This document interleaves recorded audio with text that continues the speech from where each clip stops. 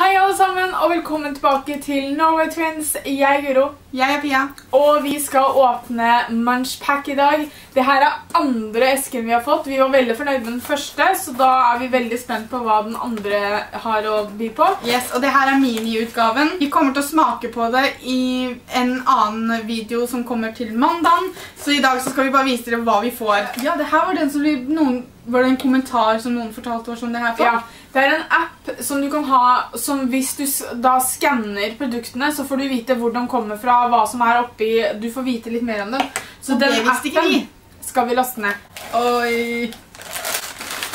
Det første som ligger oppi her er en covered bridged sweet and spicy jalapeno potato chips. Det her passer veldig bra med det vi drev og snakka med Grim om også i går, om jeg, meg og sterk, sterke ting. Yep. det her blir veldig spennende å smake på. Jeg er veldig glad i sterke ting. Pia er litt mer sånn følsom når det gjelder sterke ting. så Jeg tror jeg må blir trene meg opp jeg skal til Bergen, hørtes ut som i går. Yes. Så da blir det bra med sånn. Neste er noe som jeg tror vi har hatt noe lignende greier i eh, Japan-craten før. Tokyo-craten, hva er den het? Tokyo, Tokyo Treat het den. Mhm. Jeg vet ikke helt hva jeg snakker om. Men det er sånne sure ormer. Det her er Bibito, Bibi, Bibito Sour Neon Worms. Så det er sikkert bare sånn helt vanlig sure godteri, og det er faktisk veldig godt. Oh no. Så har vi den lille her. Det er en Torku. Eh, Favorimo Koko. Sjoko. Koko. Det ser ut som en sånn liten sånn Noe à la Twinkies.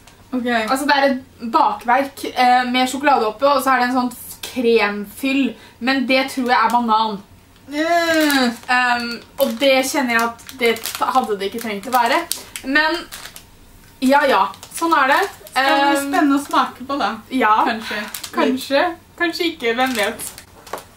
Forrige gang så fulgte det med et sånn lapp om hvor ting var fra, sånn, men jeg regner med at det kanskje nå er at du må ha appen for å finne ut det.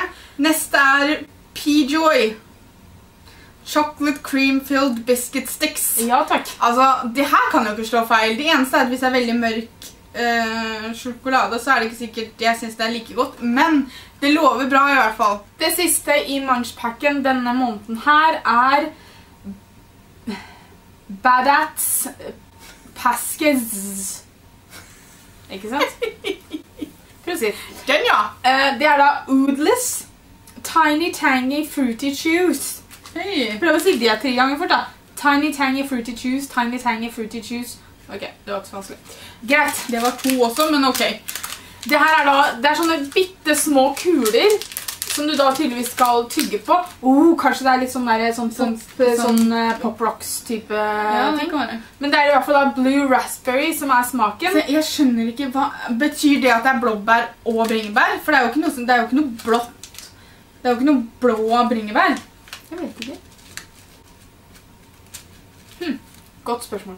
Det var i hvert fall masse spennende oppi her. Det er ikke Ja. noe som unntatt den her banankaketingen, så er det Ja. ingenting som jeg tror vi ikke kommer til å like, egentlig. Nei, dette lover, lover bra. Så følg med til mandagen for å se hva, hvordan vi syns dette her var når vi skal smake på det. Yes. Tusen takk for at dere så på. Vi linker all informasjon om Munchpack under her hvis dere har lyst til å skaffe deres egen. Abonner hvis dere har lyst til å få med dere flere videoer. Vi legger ut video hver dag, eh, og så ses vi i morgen. Ha det.